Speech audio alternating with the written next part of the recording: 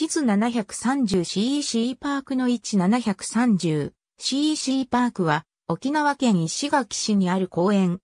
公園名の由来となっている730交差点は国道390号の起点となる交差点であり、日本の国道網における最西端にあたる。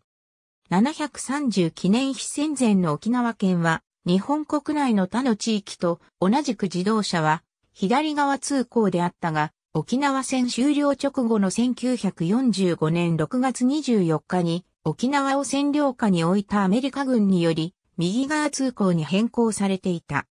730の名称は1972年の沖縄返還後1978年7月30日をもって県内全域で日本本土同様の左側通行に戻したことに由来する。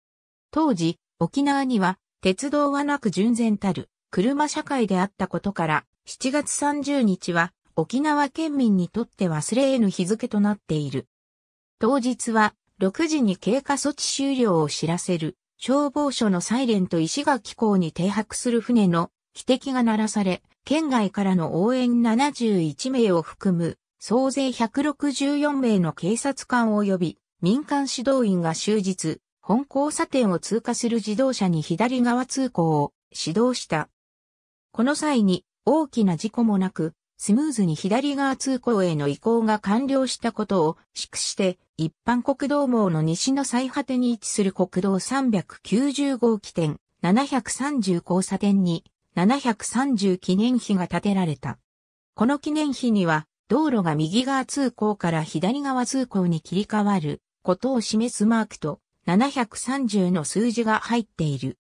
2008年7月30日には30周年記念事業として石碑一体の両脇に1体のシーサーを設置して公園化し、新たに 730CEC パークと命名された。CEC は琉球語の八重山方言でシーサーのこと。730交差点は石垣島内各地への出発点となる交通の要衝であり、交差点の一帯には、ファミリーマート石垣730記念碑店をはじめ、730を関する店舗が数多く立地している。2017年4月17日には商業施設730コートが開業した。730交差点前。ありがとうございます。